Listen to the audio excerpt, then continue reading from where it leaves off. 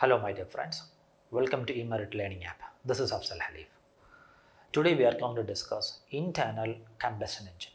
ഷോർട്ടായിട്ട് നമ്മൾ I C engine എന്ന് വിളിക്കാറുണ്ട് പക്ഷേ ഈ ഐ സി എഞ്ചിൻ എന്താണെന്ന് അറിയുന്നതിന് മുന്നേ എഞ്ചിൻ എന്താണെന്ന് മനസ്സിലാക്കണ്ടേ ബേസിക് ഡെഫിനിഷൻ ഒരു ഫണ്ടമെന്റൽ ഡെഫിനിഷൻ ഓഫ് എഞ്ചിൻ എന്താണെന്ന് മനസ്സിലാക്കണ്ടേ വേണം അതിനുശേഷമേ നമുക്ക് ഇന്റേർണൽ കമ്പസ്റ്റൻ എഞ്ചിൻ എന്താണെന്ന് ഡിസ്കസ് ചെയ്യാൻ പറ്റും so what is engine what is the basic definition of engine ശ്രദ്ധിക്കുക.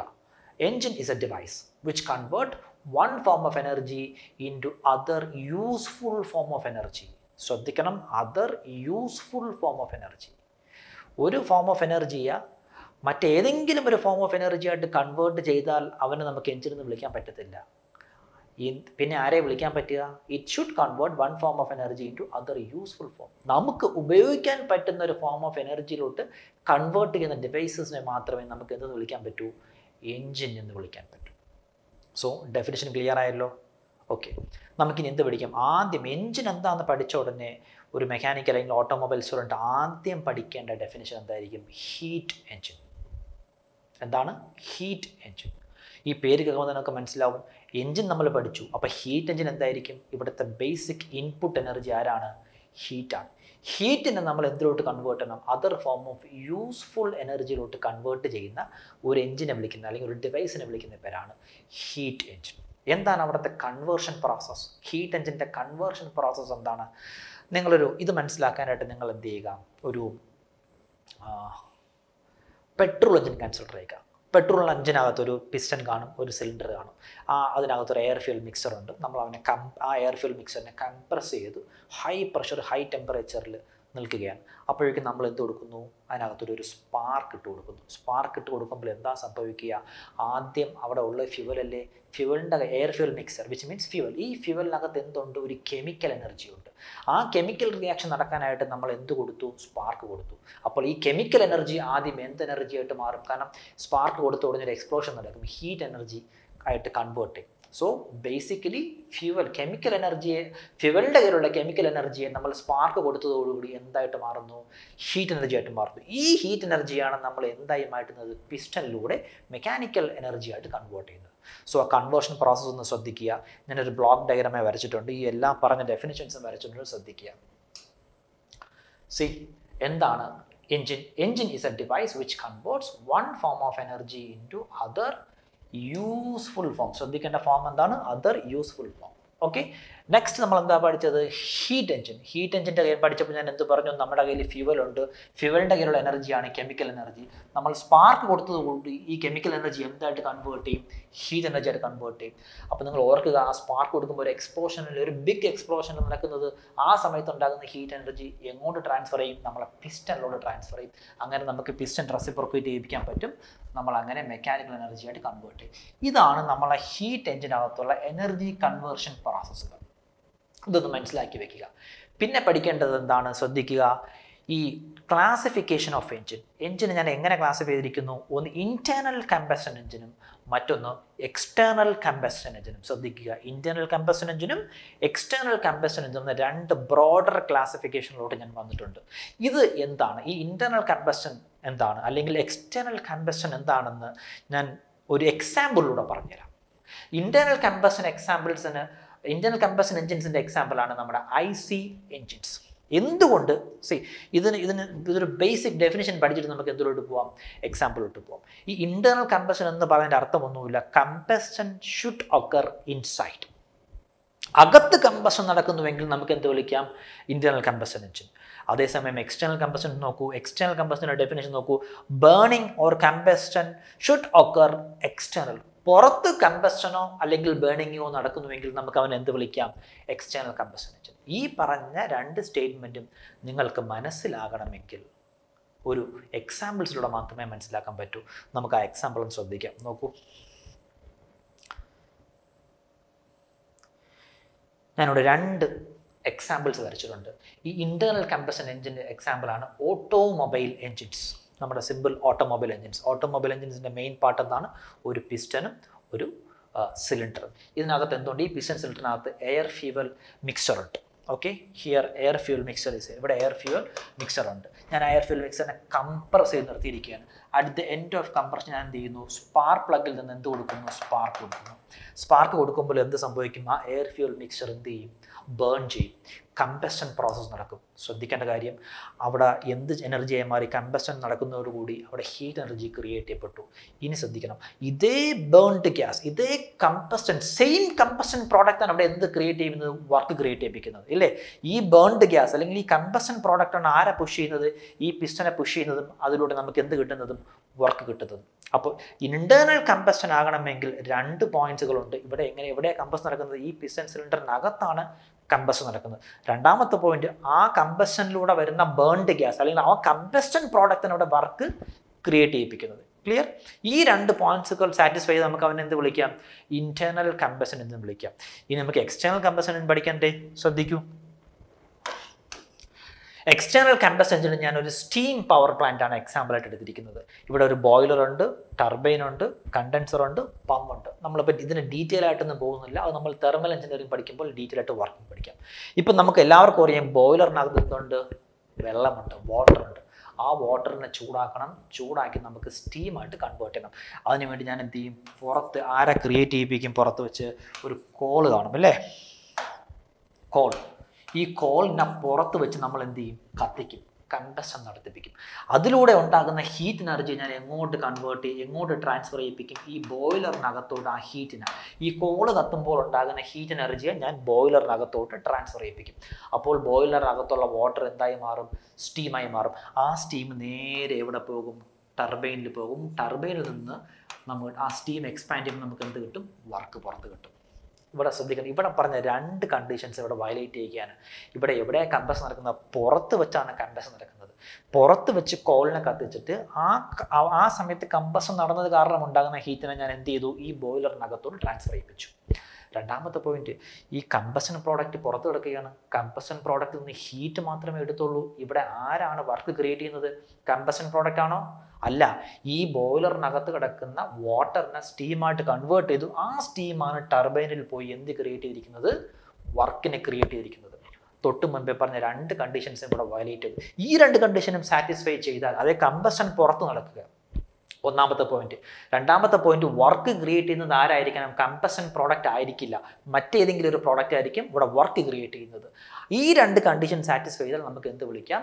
External combustion engine okay in short ഇത് വളരെ ഇമ്പോർട്ടന്റ് ആണ്. ഒരുപാട് കുട്ടികൾക്ക് കൺഫ്യൂഷൻ ക്രിയേറ്റ് ചെയ്യുന്ന ഒരു എക്സാമ്പിൾസ് ആണ് ഈ ഇന്റേർണൽ കമ്പസൺ എഞ്ചിനും എക്സ്റ്റേണൽ കമ്പസൺ എഞ്ചിനും നമ്മൾ സാധാരണ പഠിച്ചിരിക്കുന്നത് എന്താണ്? ഇന്റേർണൽ മീൻസ് കമ്പസൺ അകത്ത് കിടക്കണം. എക്സ്റ്റേണൽ മീൻസ് കമ്പസൺ പുറത്ത് കിടക്കണം. പക്ഷേ ഇത് രണ്ട് മാത്രമല്ല രണ്ടാം എന്താണ് ആ ഇമ്പോർട്ടന്റ് പോയിന്റ് ഇന്റേണൽ കമ്പഷൻ എന്നുള്ള പോയിന്റ് എന്താണ്? ആരെയാണോ നമ്മൾ കത്തിച്ചത് ആരെയാണോ നമ്മൾ ബേൺ ചെയ്തത് അതേ ആ സെയിം ബേൺഡ് ഗ്യാസാണ് ഇവിടെ എന്ത് ക്രിയേറ്റ് ചെയ്തിരിക്കുന്നത്? വർക്ക് പ്രൊഡ്യൂസ് ചെയ്തിരിക്കുന്നത്. അതേസമയം ഇവിടെ നോക്കൂ ആ സെയിം ബേൺഡ് ഗ്യാസ് അല്ല കമ്പസ്റ്റൻ പ്രോഡക്റ്റ് അല്ല ഇവിടെ വർക്ക് ക്രിയേറ്റ് ചെയ്തിരിക്കുന്നത്. പിന്നെ ആരാ തന്നിരിക്കുന്നത്? ആ കമ്പസ്റ്റൻ പ്രോഡക്റ്റിൽ നിന്ന് ഹീറ്റ് ബോയിലറിലെടുത്തു ബോയിലറിനകത്തുള്ള വെള്ളത്തിനെ ചൂടാക്കി സ്റ്റീമാക്കി ആ സ്റ്റീം നേരെ ടർബൈനിൽ പോയി എന്ത് ക്രിയേറ്റ് ചെയ്തിരിക്കുകയാണ്? വർക്ക് ക്രിയേറ്റ് ചെയ്തിരിക്കുകയാണ്. ക്ലിയർ ആയില്ലേ? ഇനിയും ക്ലിയർ ആകാത്തവർക്ക് ഒരു എക്സാമ്പിളോടെ ഞാൻ പറഞ്ഞുതരാം. നമ്മൾ തെർമോഡൈനാമിക് സൈക്കിൾസ് പഠിക്കുമ്പോൾ അല്ലെങ്കിൽ പഠിക്കുമ്പോൾ ജൂൾ സൈക്കിൾ പഠിക്കാറുണ്ട് ബ്രൈറ്റൺ സൈക്കിൾ എന്തിനാണ് പഠിക്കുന്നത്? നമ്മുടെ ഗ്യാസ് പവർ പ്ലാന്റ് ഓർമ്മയുണ്ടോ ഗ്യാസ് പവർ പ്ലാന്റ് പഠിക്കുമ്പോഴാണ് നമ്മൾ കാരണം gas power plant is working in the Joule cycle or Brayton cycle ഞാൻ ആ സൈക്കിൾ ഒന്ന് കാണിച്ചു തരാം. അത് അതുകൂടെ പറയുമ്പോൾ നിങ്ങൾക്ക് കുറച്ചുകൂടി ക്ലാരിറ്റി വരും. ശ്രദ്ധിക്കും. രണ്ടാമത്തെ എക്സാമ്പിളാണ് എന്താണ്? Open cycle gas ടർബൈനും closed cycle gas turbine open cycle gas turbine നോക്കൂ ഒരു കംപ്രസർ ഉണ്ട് ഒരു കംപ്രഷൻ ചേംബർ ഉണ്ട് ഒരു ടർബൈൻ ഉണ്ട്. ഇവിടെ നമ്മളിന്ന് പുറത്ത് അറ്റ്മോസ്ഫിയർക്ക് എയർ എടുക്കുന്നു. എയറിനെ നമ്മൾ കംപ്രസ് ചെയ്യിപ്പിക്കുന്നു. നേരെ കൊണ്ട് കമ്പസൻ ചേമ്പിലെത്തി ഈ കമ്പസൻ ചേമ്പിൽ എന്താ സംഭവിക്കുന്ന പുറത്ത് നിന്ന് നമ്മൾ എന്ത് സപ്പോ എന്ത് കൊടുക്കും? ഫ്യൂവൽ ഇഞ്ചക്റ്റീവ് ആ ഫ്യൂവൽ എന്ത് ചെയ്യുന്നു? അകത്ത് ഈ കംപ്രസ്ഡ് എയറുമായിട്ട് റിയാക്ട് ചെയ്യുന്നു. കമ്പസ്റ്റൻ നടക്കുന്നു. ആ കമ്പസ്റ്റൻ ഇപ്പോൾ സിസ്റ്റത്തിനകത്താണ് കമ്പസ്റ്റൻ നടന്നിരിക്കുന്നത്. എന്നിട്ട് എന്താ ചെയ്യുന്നത്? ഈ കമ്പസ്റ്റൻ നടക്കുന്നതിന് ശേഷമുള്ള ആ ബേൺഡ് പ്രോഡക്റ്റ് ആണ് നേരെ ടർബൈനിൽ പോകുന്നത്. വർക്ക് ക്രിയേറ്റ് ചെയ്യുന്നത്. അപ്പോൾ രണ്ടും സാറ്റിസ്ഫൈ ചെയ്തില്ലേ? അപ്പോൾ ഇതെന്ത് എഞ്ചിനാണ്? This an gas open cycle gas turbine is an example of internal combustion engine ഇത് മിക്കവാറും നിങ്ങൾക്കൊരു പുതിയൊരു പോയിന്റ് ആയിരിക്കും. ഒന്നുകൂടെ പറഞ്ഞുതരാം. Internal combustion internal combustion engine ആവണമെങ്കിൽ രണ്ട് കണ്ടീഷൻസ് ഉണ്ട്. ഒന്നാമത്തെ കണ്ടീഷൻ സിസ്റ്റത്തിനകത്ത് വെച്ച് തന്നെ കമ്പസ് നടക്കണം. ഈ സിസ്റ്റത്തിനകത്താണ് കമ്പസ്റ്റൻ ചേമ്പറിനകത്ത് വെച്ചാണ് എന്ത് നടന്നിരിക്കുന്നത്? കമ്പസ്റ്റൻ നടന്നിരിക്കുന്നത്.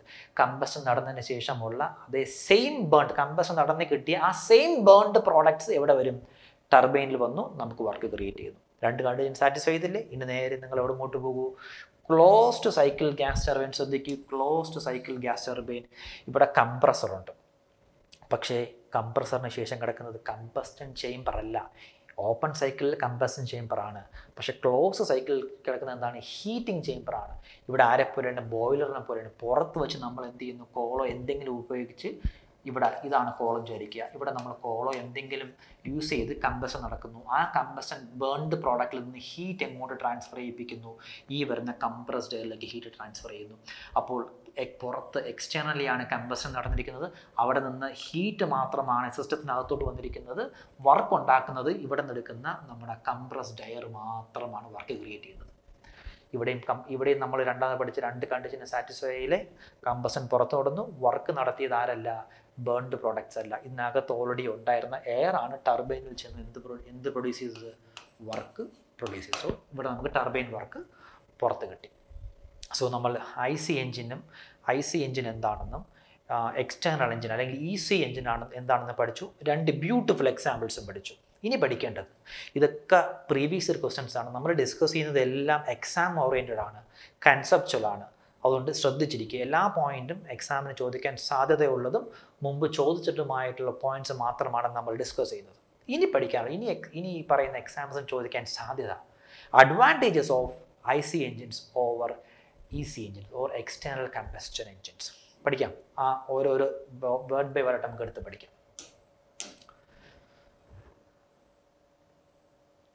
C advantages of I C engines over E C engines E C means എന്താണ്? What is this E C E C means external combustion എഞ്ചിനാണ് ഞാൻ ഇ സി എന്ന് ഷോർട്ടായിട്ട് വിളിക്കുന്നത്. ഒന്നാമത്തെ advantage power to weight ratio is high in I C engines അതേസമയം E C engine ആണെങ്കിലോ power to weight ratio less ആണ്. എന്താണ് ഈ പവർ ടു വെയിറ്റ് റേഷ്യോ സിമ്പിളാണ് നമ്മളെ power divided by weight of the power producing system നമ്മളെ internal കമ്പസ്റ്റന്റെ I C engine നിങ്ങൾ നോക്കൂ ഒരു പിസ്റ്റനും സിലിണ്ടറും മാത്രം മതി. വേറെ ഒന്നും വേണ്ട. വർക്ക് സംഭവം നടക്കും. അപ്പോൾ പിസ്റ്റൻ സിലിണ്ടർ എന്ന് പറയുമ്പോൾ അതിന്റെ വെയിറ്റ് കുറവല്ലേ? When comparing to external combustion engine നമ്മളെ steam power plant thermal power plant നോക്കൂ നിങ്ങൾ. അവിടെ എന്തൊക്കെ ഡിവൈസസ് ഉണ്ട്? ടർബൈൻ ഉണ്ട് കണ്ടൻസർ ഉണ്ട് പമ്പ് ഉണ്ട് ബോയിലർ ഉണ്ട്. ഭയങ്കര ബൾക്കി അല്ലേ? അപ്പോൾ അവന്റെ വെയിറ്റ് എന്തായിരിക്കും? കൂടുതലായിരിക്കും. അതായത് രണ്ട് കമ്പയർ ചെയ്യുമ്പോൾ നമുക്ക് ഏതെങ്കിലും ഒരു പാരാമീറ്റർ ഫിക്സ് ചെയ്യണം. ഇവിടെ ഞാൻ സ്റ്റീം തെർമൽ പവർ പ്ലാന്റിന്റെയും ഐ സി എഞ്ചിന്റെയും പവർ എന്താക്കി? ഈ പവർ ഈ ന്യൂമറേറ്ററിലെ പവർ ഞാൻ എന്താക്കി? ഫിക്സ് ചെയ്തു. Which means power is a constant പക്ഷെ രണ്ട് പേരിൽ വെയിറ്റ് കൂടുതൽ ആർക്കാണ്? തെർമൽ പവർ പാനൽ പ്ലാന്റിന് എന്ത് കൂടുതലാണ്? വെയിറ്റ് കൂടുതലാണ്. വെയിറ്റ് ഡിനോമിനേറ്റർ കൂടിക്കഴിഞ്ഞാൽ പവർ ടു വെയിറ്റ് വെയിറ്റ് എന്തായിരിക്കും? കുറവായിരിക്കും power to weight ratio in I C engines അതേസമയം ഇന്റേർണൽ കമ്പസൺ എഞ്ചിൻ ആര് മാത്രമേ ഉള്ളൂ? ഒരു പിസ്റ്റനും സിലിണ്ടർ മാത്രമേ ഉള്ളൂ. അവിടെ വെയിറ്റ് കുറവാണ്. അതുകൊണ്ട് പവർ ടു വെയിറ്റ് റേഷ്യോ ആർക്ക് കൂടുതലായിരിക്കും എപ്പോഴും? ഇന്റേർണൽ കമ്പഷൻ എഞ്ചിന് പവർ ടു വെയിറ്റ് റേഷ്യോ കൂടുതലായിരിക്കും. ഇതൊരു ഇമ്പോർട്ടന്റ് ക്വസ്റ്റ്യൻ ആണ്. മിക്കവാറുമുള്ള പരീക്ഷകൾക്ക് ചോദിക്കുന്ന ഒരു ക്വസ്റ്റ്യൻ ആണ്. പവർ ടു വെയിറ്റ് റേഷ്യോ കൂടുതൽ ആർക്കാണ്? നാല് ഓപ്ഷൻസ് കാണും ഓക്കെ എപ്പോഴും ഇന്റേർണൽ കമ്പഷൻ എഞ്ചിനായിരിക്കും പവർ ടു വെയിറ്റ് റേഷ്യോ കൂടുതൽ. സെക്കൻഡ് പോയിന്റ് എന്താണ്? ഹൈ എഫിഷ്യൻസി ഞാൻ എന്താ ഇവിടെ പറഞ്ഞിരിക്കുന്നത്? ഹൈ എഫിഷ്യൻസി ബ്രാക്കറ്റിൽ പറഞ്ഞിരിക്കുന്നത് എന്താണ്? Directly burned gases are producing work ഇവിടെയോ? Low efficiency when comparing to internal combustion engine ആകുമ്പോഴാണ് ഇവിടെ ex E C engines low efficiency വരുന്നത്. കാരണം directly burned gases are not producing work ശ്രദ്ധിക്കുക. എന്താണ് ബോയിലർ നടന്നത്? പുറത്ത് വെച്ച് കമ്പസ്റ്റൻ നടത്തും. നടത്തി. കോൾ കത്തിച്ച് നമ്മൾ ഹീ നമ്മൾ എന്തുണ്ടാക്കി? കമ്പസൻ നടത്തിച്ചു. ആ കമ്പസൻ പ്രോഡക്റ്റിൽ നിന്ന് ഹീറ്റ് നമ്മൾ ആദ്യം എന്ത് ചെയ്യിപ്പിക്കണം? ബോയിലറിനകത്തോട് ട്രാൻസ്ഫർ ചെയ്യിപ്പിക്കണം. കാരണം പുറത്താണ് കമ്പഷൻ നടന്നിരിക്കുന്നത്. ആ പുറത്ത് നടന്ന കമ്പഷനിൽ നിന്ന് ഹീറ്റ് അകത്തോട്ട് കൊണ്ടുവരണം. അങ്ങനെ അകത്തോട്ട് ട്രാൻസ്ഫർ ചെയ്യിപ്പിക്കാൻ നമുക്ക് എന്ത് പറ്റും? കുറച്ച് ലോസസുകൾ സംഭവിക്കും. ആ ലോസസ് എവിടെയില്ല? ഇന്റേർണൽ കമ്പഷൻ എഞ്ചിന്റെ ഇല്ല. കാരണം കമ്പഷൻ നടക്കുന്ന അകത്ത് വെച്ച് തന്നെയാണ്. അതുകൊണ്ട് ഹീറ്റ് പുറത്തുനിന്ന് അകത്തോട്ട് കൊണ്ടുവരേണ്ട ആവശ്യമില്ല. അത് കാരണം ഉണ്ടാകുന്ന ലോസസ് ഇവിടെ ഇല്ല. അതുകൊണ്ട് എഫിഷ്യൻസി എപ്പോഴും ഇന്റേർണൽ എഞ്ചിൻ എഞ്ചിനായിരിക്കും എഫിഷ്യൻസി കൂടുതൽ. എക്സ്റ്റേണൽ കമ്പസൺ എഞ്ചിൻ എഫിഷ്യൻസി കുറവായിരിക്കും. ക്ലിയർ ആയല്ലോ? Okay the last point setup cost is low in I C engine setup cost is high in external combustion engine simple ഈ low setup cost എന്ന് വെച്ചാൽ എന്താണ്? I C എഞ്ചിന്റെ പിസ്റ്റനും സിലിണ്ടറും മാത്രം മതി. അത് രണ്ടും ഉണ്ടെങ്കിൽ സംഭവം നടന്നോളൂ. പക്ഷേ തെർമൽ പവർ പ്ലാന്റിനോ നേരത്തെ പറഞ്ഞ പോലെ ഇത് എന്താണ് ബോയിലർ ടർബൈൻ കണ്ടൻസർ പമ്പ് ഇത്രയും ഡിവൈസസ് ഉണ്ടെങ്കിൽ മാത്രമേ അത് വർക്ക് ചെയ്യത്തുള്ളൂ. അതുകൊണ്ട് അവന്റെ സെറ്റപ്പ് കോസ്റ്റ് കൂടുതലായിരിക്കും.